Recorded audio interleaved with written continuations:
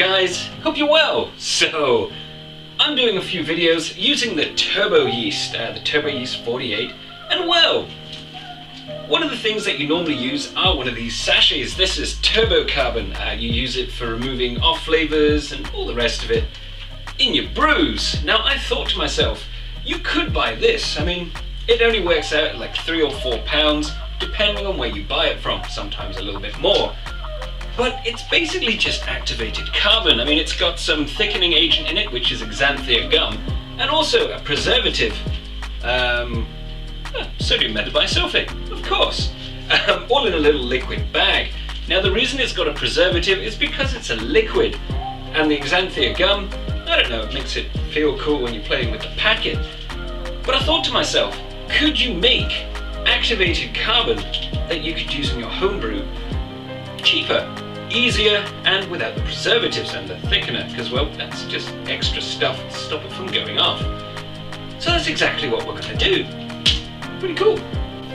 So carbon or activated carbon is used quite a lot. I mean it's got a load of uses from air purification to water purification. It's even used in hospitals so it's got a lot of uses. Now there is just ordinary carbon which does the same job just not as well.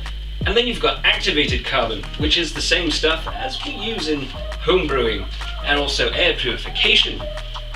Now basically it just latches on like a sponge to certain impurities uh, and then takes it out and holds onto it, at least for a little while, which is pretty cool.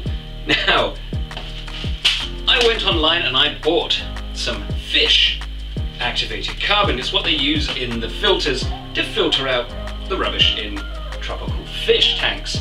Now it is A grade, the purest they can find. Now I've chosen aquarium stuff over any other type of thing because I know it's chemical free. Because fish die very, very easily.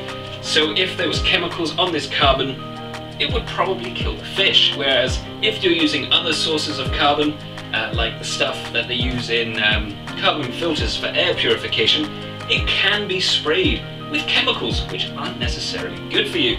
So high quality is the key. Now where this one sachet is about three or four pounds, a kilo, uh, this is just part of it, worked out at about five pounds for A quality activated carbon. So I get a lot more carbon and in theory, it's also just as good, if not better than the stuff used in this. So uh, we're gonna go ahead and make some, because we can. So I was thinking to myself, why not just add the carbon in as is? I mean, in theory you could, but we're talking about surface area. Well, these are like small little grains, uh, about 5 mil thick, 10 millimeters long, some of it 5.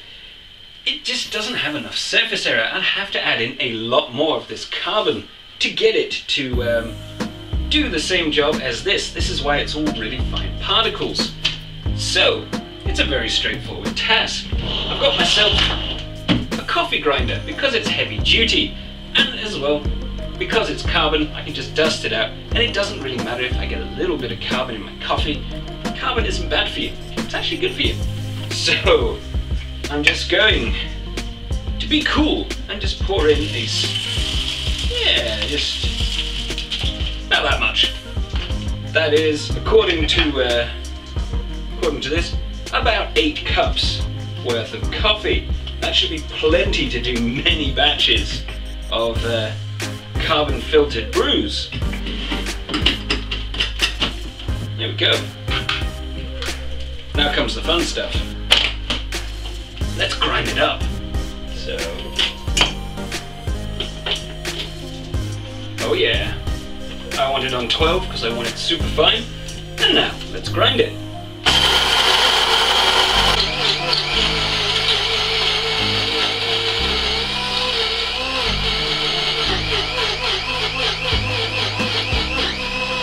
It's not on fire. No, it's not on fire.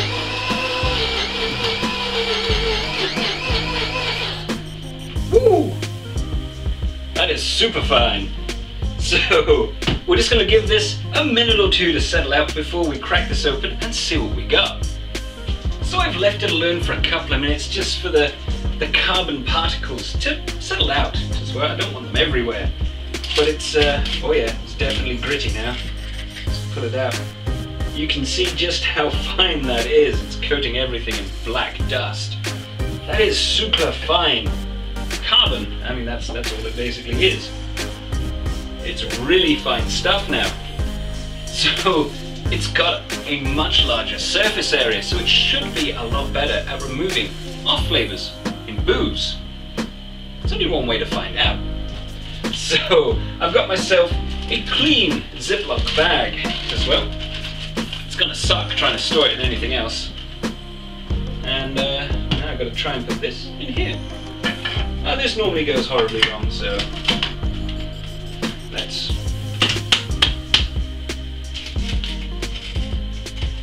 Oh, that's super fine. Really fine powder. Here it goes.